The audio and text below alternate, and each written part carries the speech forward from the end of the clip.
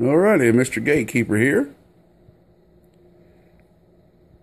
Hope everybody's had a good weekend so far. I know I'm uh, busy as busy can be. Not losing my mind out here in northeast Georgia. Alrighty. What we have here are two twin single 1446 unregulated AB bias uh, one transistor amplifiers. Okay. And you ask yourself, why in the world does he not have any switches, LEDs,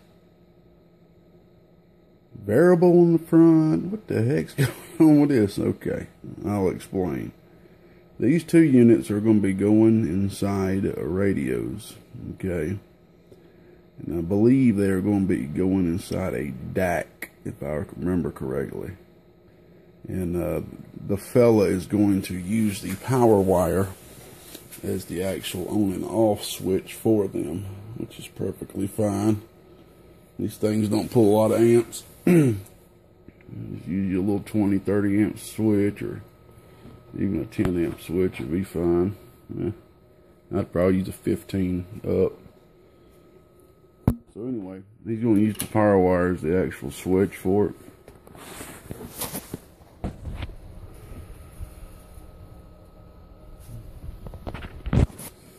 So there they be, uh, single 1446, AB biased, unregulated AB bias.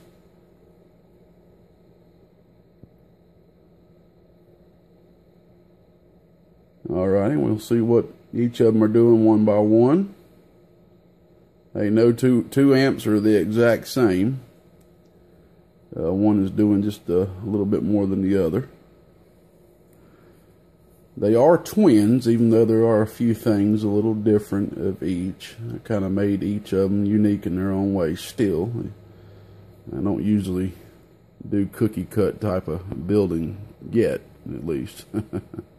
so, all right, let's see what these are these are doing one by one.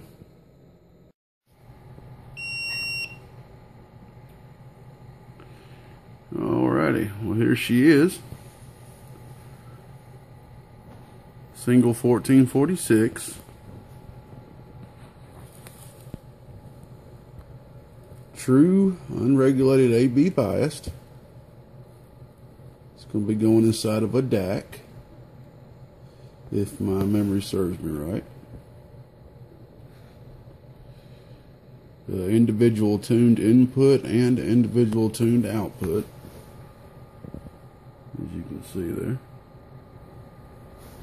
Uh, tried uh, something a little new than what I've tried before. I won't uh, get deeply into it, but uh, a lot of my AB biased amps that you've seen me done, a lot of them are A, B, and C switchable. So you'll see me using relays to uh, uh, make this uh, possible. Well, this right here is just going to be straight AB, no C option. So as you see, I've uh, utilized just one main relay. And uh, using chokes there to uh, get the active biasing going on there. So it's really neat, man, uh, to build able to see DC and AC pretty much uh, have a relationship with each other without uh, without having to intermingle. I won't get uh, deep into it, but uh, kind of like a Texas Star.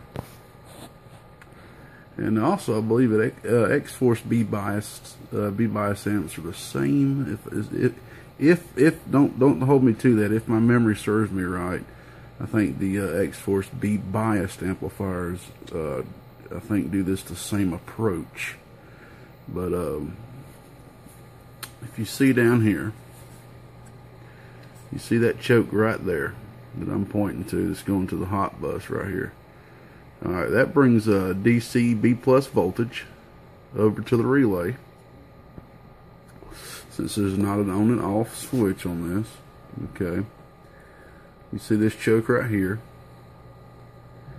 This choke is soldered to the hot coil of the relay and then solders to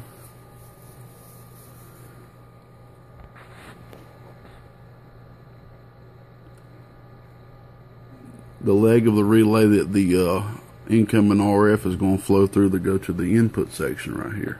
Okay. So you got positive voltage soldering to that, but as you see, it's right before that blue cap. All right, and anybody's got any kind of electrical knowledge knows that DC voltage cannot flow through a capacitor in series because there's not electromagnetic flux there for it to pass through it. In a sense. Okay. And if you see this choke right here, this choke right here is actually soldered to the incoming RF coming from the input coax, this choke right here. Okay, and then it flows on through the sandbar resistor onto the uh, AB bias circuit, which I had to customize a little bit for this certain situation. It seemed like with using these chokes, I had to do some readjustment to the biasing circuit because it was a little high. It was it was about 0.8 volts on the high end, and God, it was it was showing the difference on the old bird meter there, but uh, that that's not good. That's not good. You, you don't want too much voltage. Uh, that bias voltage is going to the base of them transistors, man.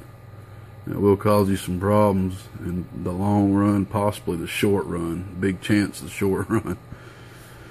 So anyway, make a long story short, AC cannot pass through these chokes. Okay, they're not supposed to be able to pass through these chokes.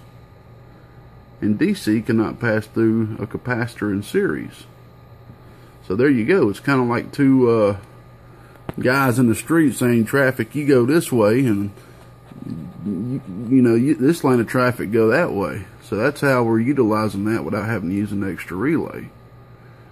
Okay, I won't get deeper into that. That might have confused a, a few people.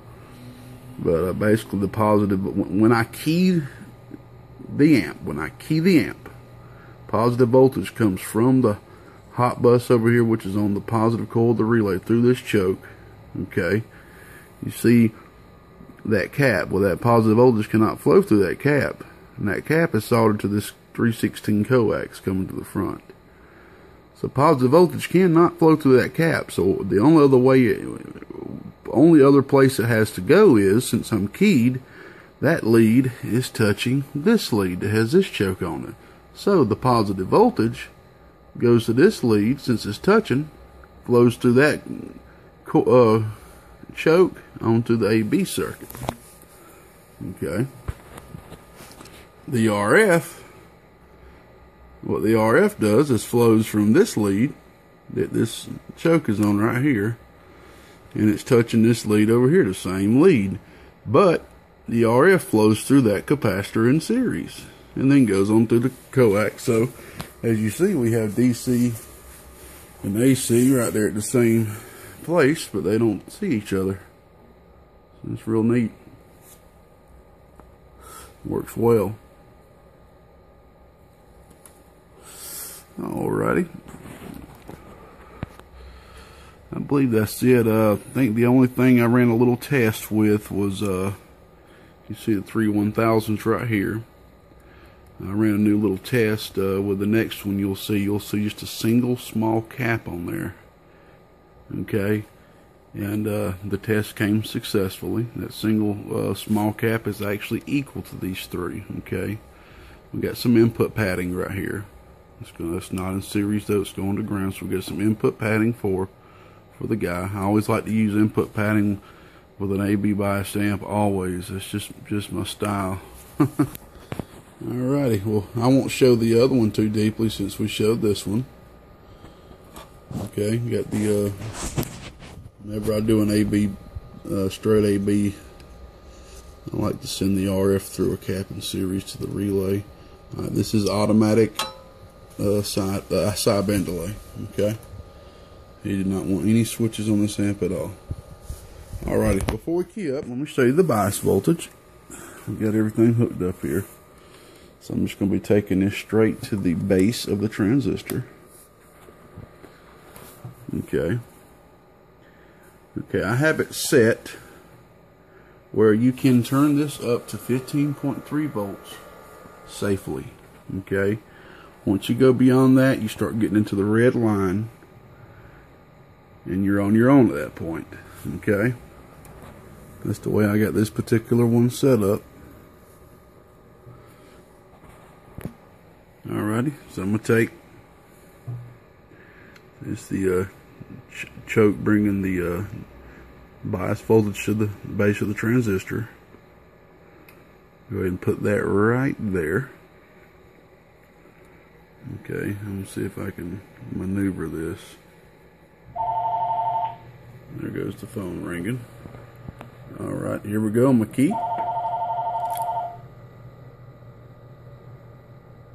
There you go, 0.7.8, 0.7 volts right there on the money, okay?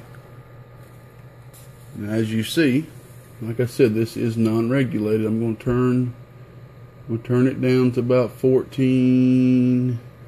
14.5 and let you check this out. Okay.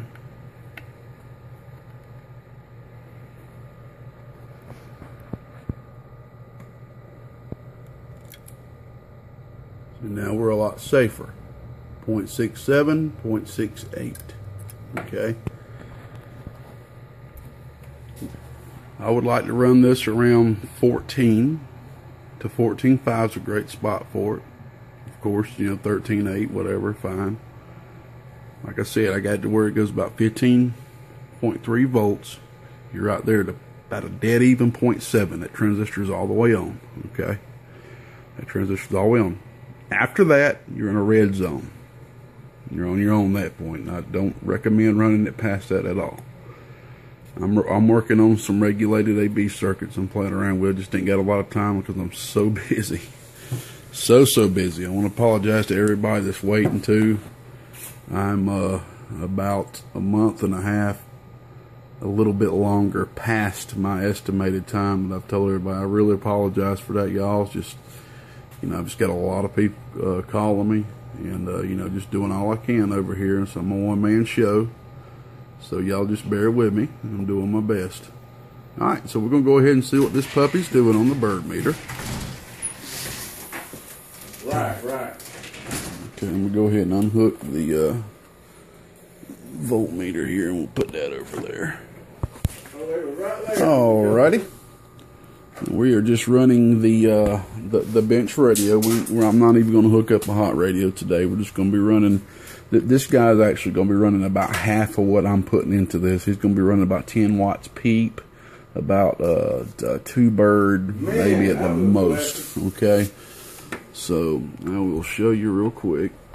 Let me turn the amp off, uh, power off. Power supply. Man, Okay. what, now, what about that? Ready? Okay, that's a 10 watt slug. Ready? Oh. Wow. almost four bird watts. Okay, that's what we're going to be driving to the ant. That's not well, man. Okay, let's turn the power back on. Alrighty, I'm going to turn this down to about an even 13.8. Okay, and let you see what that's doing bird watts wise. We do have a PEP meter up. This PEP meter is uh, Man, man. is a very accurate, but it's still just a reference. It's pure reference. We're on the 100 watt scale, so we're looking at this bottom portion right here. Okay. Up. All right, don't worry about it. All right. That's Madonna calling. She 100 watt American slug. Call her back. All right. I know. They probably say, man, you There's your 10 watt Hey, dead you key. thought- you Oh, sang Brandon, said, "We gonna get that damn man with that something, gotta It's go about there." 25 bird. Something like that. Looking at your peak over here. Go. That's about yeah. 90 peak. Input tune. Slug, uh, slug and reverse. It. What do you, Oh, yeah. it looking good, you put it Beautiful input you tune. put it up. Oh, yeah, yeah. yeah. I saw you did, 'cause we got, you know, I left enough product. Alrighty, so I'm gonna go over here and just crank up this to a 15.3, which is that uh, Okay. max point. Okay. We should be getting close to 30 bird. Maybe a little more. Oh, yeah. That's right there, about 30 you kinda birds. Sorry about the flash. Oh, See, yeah. There you go. The snow scare coming. Getting a lot, a little bit more out of the other one. You'll see. this this right here should slam the 100 watt scale. Oh, yeah. There you go. night. So I feel like. Good, by yeah. Input tune's beautiful. uh, Beautiful working amp, man. Got this thing sewed up from the front to the back. We'll go ahead and get that top on there. Got a real fast spinning fan here for him. The reason I did that, I know he's going to have this inside of a radio, so I knew the sound will be dampened a little bit since it's going to be inside that big case, that radio there. So this thing's going to be blowing some good air. Very important to keep an unregulated AB box cool. Very, very important. You don't want thermal runaway coming in effect. That's that's not fun. Not fun at all. Alrighty, well let's go to the next one. Alrighty, here's the second one. Second twin AB biased. Single 1446. All right, buddy. I'll pass it on to mom. Alrighty. All right, love you. Fairly much the same. Like I said, about the only thing I was running a little test with was uh as you see this one simple small little ceramic cap here. A kilovolt cap, man. That thing's equal the same as the last three. I just kind of wanted to do that to show, you know, that you know it doesn't alter the performance, and uh, this thing uh, generates no heat as well. So you know, believe it or not, man, whenever you see a lot of people using three silver dip micas, you know, makes you think, you know, it could be sa- uh, saving a little bit of money. There's really no use for it, but hey, I ain't gonna say much to it because I'm an overkill type of guy myself. So I do a lot of overkilling as well. Uh, also, we got a 1000 on this output. There's 820 on the other one. Didn't make that much of a difference. Yeah. Just want to run a little thing there. You'll see different little uh, things and different designs. These 1446 designs here. The uh, tune on both of them were fairly close. I believe the uh, input was a little different from each of them, but the uh, output was fairly close. I can't even remember what it was now, but like I said before, we had everything. had a trimmer on the input, trimmer on the output, tuned them both in. A lot of times when I do that, you'll see me have to use two caps to equal that exact number. Because like I said, if it equals 93 picofarad, most people will just round up to 95 or 90. I just, I'm just crazy, man. I'm OCD. If it equals 93, I'll make it 93. and that's why you'll see me using two caps. Ma- majority of the time, there will be about two caps like that when I'm doing a, individual tune like that. And there's a couple amps I do build that I I already pretty much know the tune. You'll see a single cap. Like if it's a, a simple Class C 21446 box or something like that. All right, show you the bias voltage first.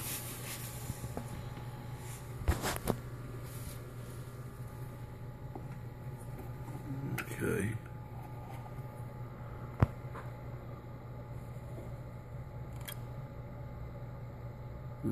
Point six nine. Alrighty. Increase the voltage a little bit there.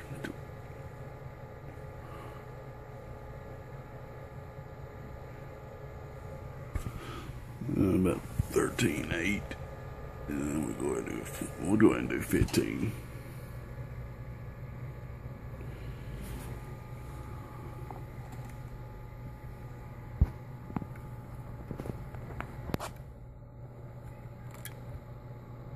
Alright, there's your point set. That's about 0.74. It's a little bit hotter than the last one. Put that joker down about so that's a little bit hotter than last. Uh, could do some readjustment, but it'll be fine. Also, uh, he, he's going to be running on an unregulated. He's going to be running on a regulated supply that's going to be regulated down around 14 volts, I believe, for that DAK. So uh, that's going to put this right up there at the perfect, right 0.69, maybe 0.7 right on the money. So that'll be all good. Alrighty.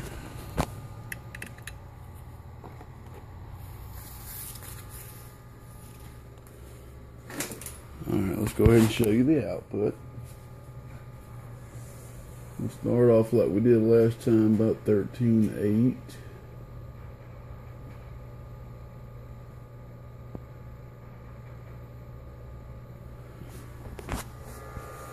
Alright. Same 100 watt slug.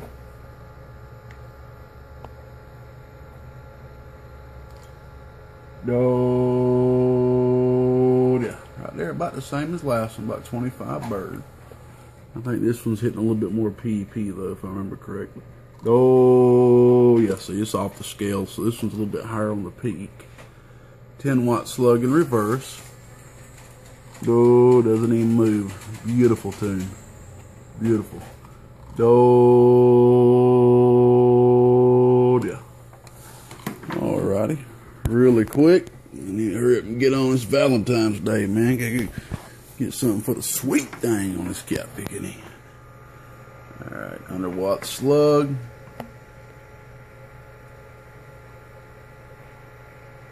Oh, so that's about 35. Eh, about 33, I guess, bird. Oh, a little bit past the 30 mark of course. Oh, yeah. I'll let you see this one's getting close to about 150 peak on this meter. I flipped it to the thousand, so we're reading the top scale.